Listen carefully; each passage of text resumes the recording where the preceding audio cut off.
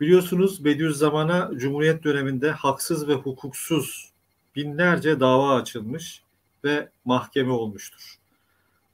Bunlardan iki tanesi dikkat çekicidir. Biri Eskişehir hapsine neden olan ve Eskişehir Mahkemesi tesettür risalesi sebebiyle diğeri 1952 yılında 52 yılın başında İstanbul Adliyesi'ndeki meşhur gençlik rehberi davasıdır. Bunlar kitaplar e, neşrettiği risaleler üzerinden açılmış davalar. Ayrıca Hüve Nüktesi, Meyve Risalesi gibi hacmi küçük ama etkisi muazzam eserler de mahkeme konusu olmuştur. Demek ki Bediüzzaman ile uğraşan perde arkasındaki zındıka kuvveti onu çok yakından takip etmiş, her eserin gücünü ve tesirini tartmıştır. 220. mektup gençlik rehberi açısından mekteplilere ulaştırılması ve okullarda Risale-i Nur hizmetinin yapılması açısından güven vermektedir. Şu cümleye dikkat çekmektedir. Gençlik rehberinde e, bize bu yeni taarruzun sebebi matbu gençlik rehberinin ahirinde nur şakitleri hükümetin müsaadesine binaen mümkün olduğu kadar nur dershaneleri açılmak münasiptir diye bizim gizli düşmanlarımız marif dairesi aleyhimize marif dairesini aleyhimize çevirmeye çalışması bir vesile oldu. Bugünkü adıyla Milli Eğitim Bakanlığı'nın başta gençlik rehberi gibi gençliğin imanını kurtaran Risale-i Nur eserlerine sahip çıkması gerekirken perde arkasındaki kuvvetler engel olmaya çalışmışlar. Bu durumlarda bazı ilahi musibetlerle ikaz edilmişler ki bunlardan bir tanesi de 23 Aralık 1947'deki Ankara'daki Marif e, binasının ya da bugünkü adıyla Milli Eğitim Bakanlığı'nın yanması olmuştur ki millete de büyük zarara sebep olmuştur. Efendim bu izahlar çerçevesinde size ilk sorumuz gençlik rehberinin gençliğin özellikle mektepli gençlerin imanını kurtarma hizmeti bakımından önemi nedir ki Bediüzzaman şöyle müjdelemiştir. Halbuki ben medreseden çıktığım için hocalardan istimdad etmek lazımken bütün kuvvetimle marif dairesine ve mekteplere itimat edip onlara dayanmak istiyordum. Çünkü nur dairesine girenlerin çoğu mekteplilerdir. Hocalar azdır. Çoğu çekindiği halde mektepliler kemali takdirle nurlara sahip çıktığından kalbimden dedim inşallah marif dairesi nur şakitlerini himaye edecek. Birinci soru bu. İkinci olarak da okullarda bugün bu hizmetler yapılda, yapılmakta mıdır? Ya da nasıl yapılabilir? Buyurun Can Bey. Evet. Teşekkür ediyorum. Allah razı olsun. Ee, tabii e, yani e, okullardaki durumu tabii ben çok milli eğitimle çok ilişkim olmadığı için çok bilmiyorum ama yani genel olarak eğitim anlamında e, günümüzdeki yansımalarını e, üstadın bu e, ifadelerinin ya da o dönemdeki yaşanan e, olayların günümüzdeki yansımaları üzerine belki konuşabiliriz.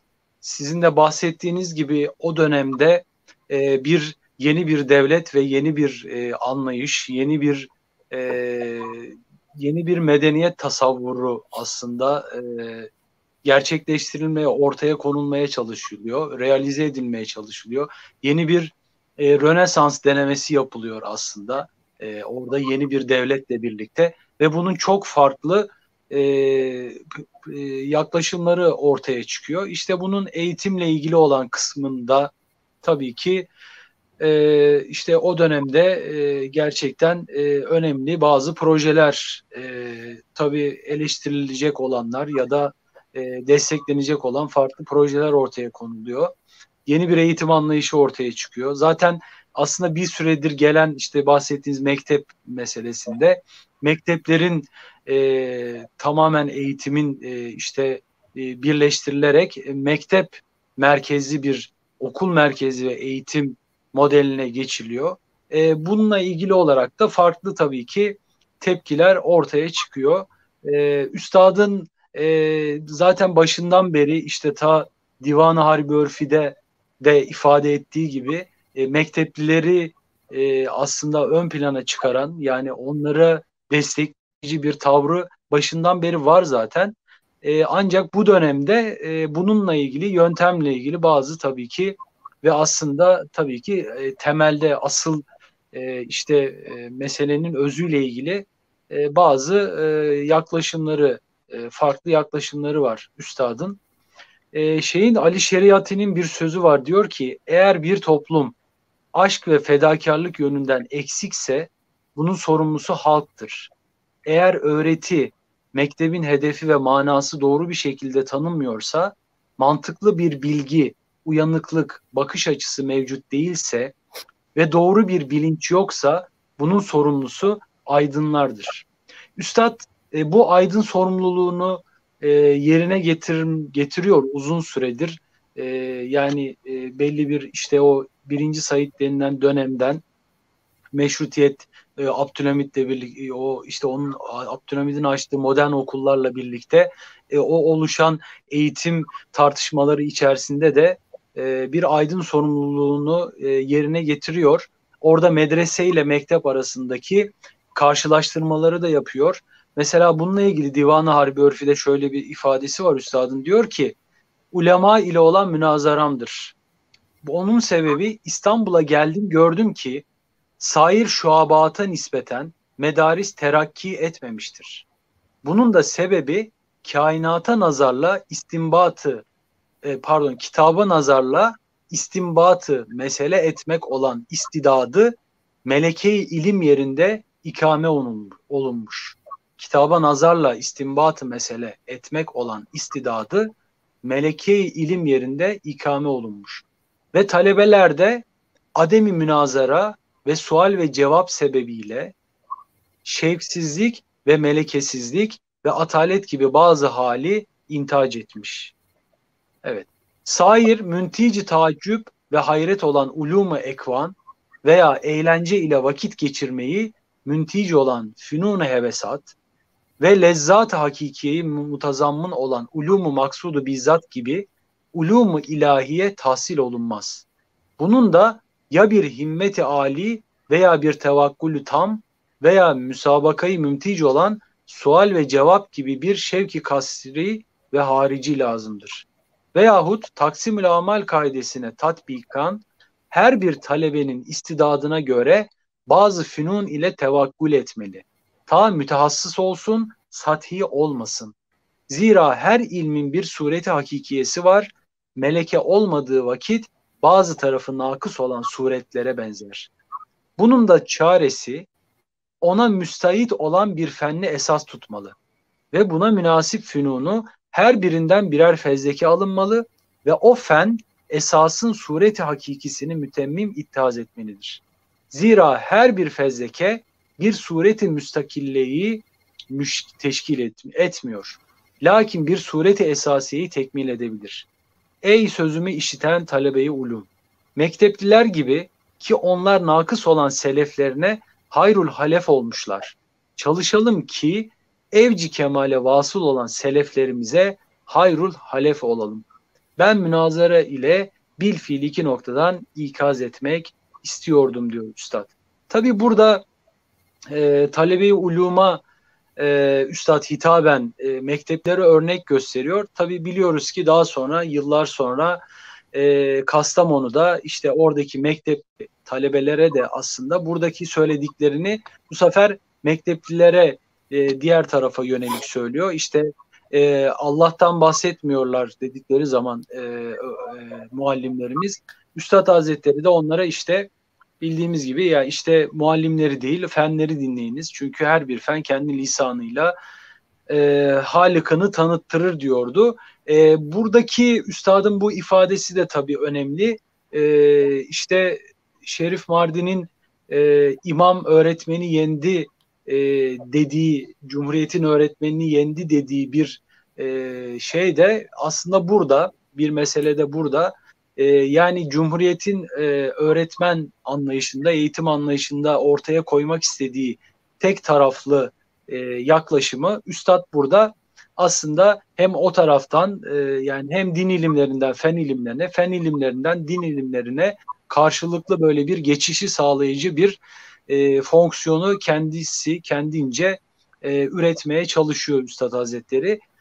E, bununla ilgili de işte o zamanın işte sizin de bahsettiğiniz gibi farklı e, taziklere, e, baskılara maruz kalıyor. Çünkü e, o zaman e, yapılmak istenen şey, e, kurulmak istenen sistem e, mektebi tamamen bir e, dünyevi bir e, eğitimde ibaret bir şeye dönüştürmek.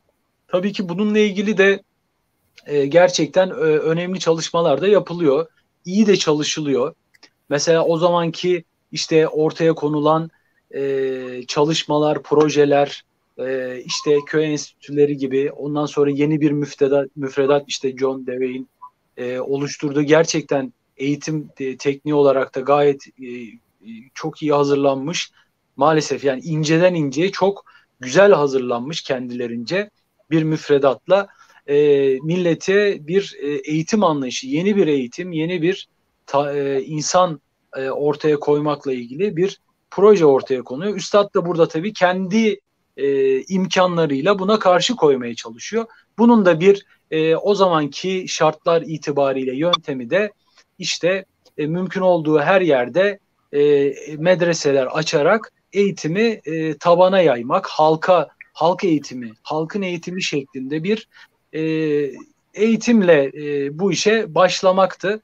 E, üstadın e, oradaki amacı. Tabii üstadın biz de biliyoruz ki nihai amacı bunu bir taban olarak, bunu bir altyapı olarak e, kurup bunu geliştirerek bunun sonunda bir e, müesseseye dönüştürmek. İşte Medresetü Zehra projesi dediğimiz şeyin e, bu zaman içerisinde e, nihayete erip bir e, gerçekten bir e, yüksek okul, e, işte üniversite ya da işte medrese, mektep, üniversite hepsini içinde barındıracak bir yapıya dönüşmüş olmasıydı. Üstadın o zamanki e, beklentisi, o zamanki e, şartlardaki kendince e, kurguladığı şey buydu büyük ihtimalle. E, onun medeniyet tasavvuru içerisinde çok önemli bir yerdeydi. Ve bununla ilgili de Üstad işte o zamanki e, talebe tanımını da e, işte e, eğitim tanımını da kendisi yapıyor. İşte mesela e, işte felsefe tilmiziyle Kur'an'la hakimin tilmizlerini muvazene ediyor, karşılaştırıyor mesela. İşte diyor ki senin halis tilmizin bir firavundur. Fakat menfaati için en hasis bir şeyde ibadet eder bir firavunu zelildir. Her nafi şeyi kendine Rab tanır. Kur'an'ın halis tilmizi ise abdir. Fakat azam mahlukata da ibadete tenezzül etmez.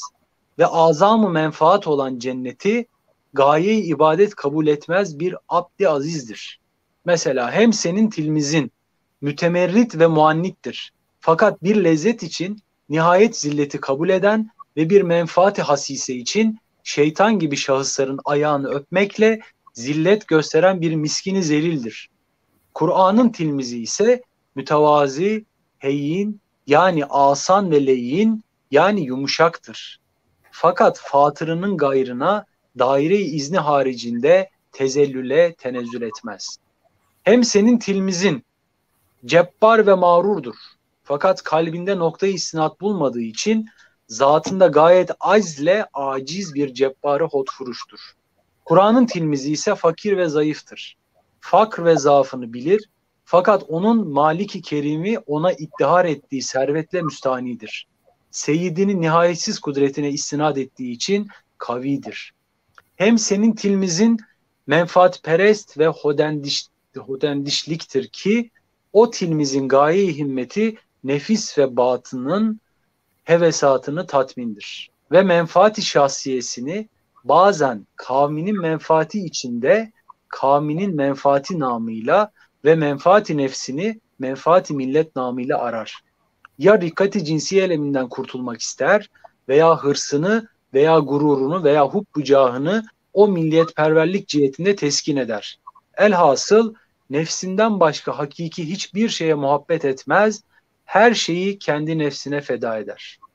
Kur'an'ın tilmizi ise yalnız liveçillah ve rızayı ilahi için ve fazilet için o derece nefsinin menfaatinden tecerrüt eder ki cenneti ebediyeyi dahi hakiki maksat ve gaye ibadet yapmaz. Nerede kaldı ki bu dünyayı zailenin fani olan menafiyi onu hakiki maksat ve gayesinden çevirsin. İşte o iki halis tilmizin himmetlerinin birbirinden ne derece ne derece mütefavit ve mugayir olduğu bununla anlaşılır. Evet, Kur'an'ın tilmizi en büyük şeyleri arş ve şems gibi mevcutları birer memur, birer mahluk musahhar, birer aciz tanır. Ruhunda bütün ehli semavat ve arz talihlerine karşı öyle bir alakayı şedide uhuvvetkârını hisseder ki ehli beytine dua ettiği gibi an samimil kalp onlara da dua edip saadetleriyle mesud olduğunu gösterir. Bu iki tilmizin mürüvvetlerinin dereceyi farkına bak ki senin tilmizin nefsi için kardeşinden kaçar, Kur'an'ın tilmizi ise bütün ibadı belki bütün mahlukatı kendine kardeş görür. Evet.